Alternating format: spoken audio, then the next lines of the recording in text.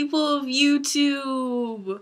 My name is Nadia. Hello, people of YouTube. My name is Nadia, and I want to tell you a story. Actually, I want to tell you two stories. Dos stories. Those stories have to do with this uh, soccer ball. Well, not this one. That'd be creepy. Um, and this apple. Why I'm telling you two stories today is because they both tie in with one person. So, the first story has to do with the soccer ball, so I'm going to tell you about the soccer ball story. So, I was in gym. I was just, we were outside, we were playing soccer, okay? So, we were just running down the field, and I was probably on the other side of the field from the ball, you know? I was. And this one guy, you know, had the soccer ball, was kicking it around, kicked it right over to me. It hit me right in the head. With his precision, I would have thought that he threw it at me. But he was in soccer, so. Anyways, it hit me right in the head. That's not the worst part. It hit me right in the head, and I fell over. That is how hard this a soccer ball hit me in the head. I fell over. Right over and I uh, started to bawl my eyes out. That was like mm, the first time I cried in school. I was in fifth grade.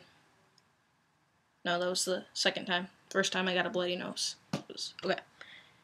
Anyways, second story. And why these tied together is because it was the same person kicking the soccer ball and something with an apple. Set that down. Don't you roll away from me.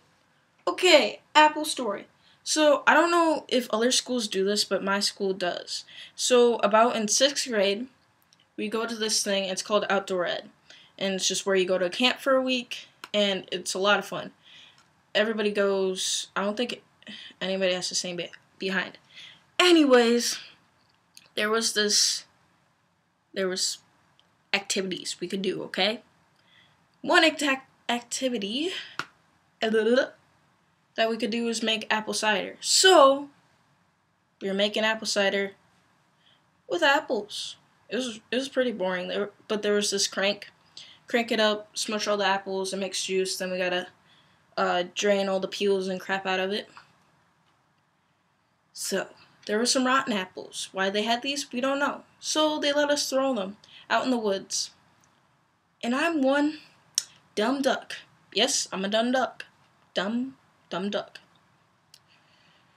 So, as we were throwing these rotten apples out in the forest, I was like, okay, here's the forest, here's me, here's the guy, the one, the only guy. And once I'm done throwing all my apples, I'm staying right here, I'm walking back. This guy decides to throw an apple but he aims low. Right at my head. So the apple hurtles right to my my head, goes right across my face. And this apple is half rotten, half good. But this one's all good, you know, because don't want bad apple. and it hits me right in the face. And I fall over once again and bawl my eyes out. You see the pattern? You see you see the pattern? That was the third and last time I ever cried in school.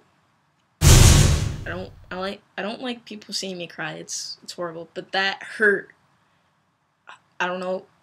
You probably have got an apple thrown at your head and you probably know how bad it hurts.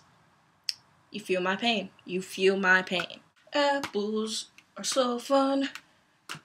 They keep you healthy and they are fun to play with unless you drop them.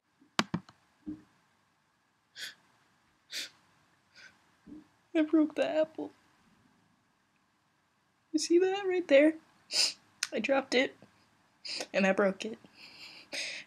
Now I'm gonna have to go to jail for apple murder. And while you're there clicking away on your uh, computer, phone, I don't know, maybe a TV, please like and subscribe if you want to, you know. Uh, I try to make YouTube videos whenever I can. Comment below, give me some feedback, please. It's now time for me to say goodbye. So just remember to be yourself and don't try to be anybody else. Goodbye! An apple a day keeps the doctor away. But one to the head gives you a concussion.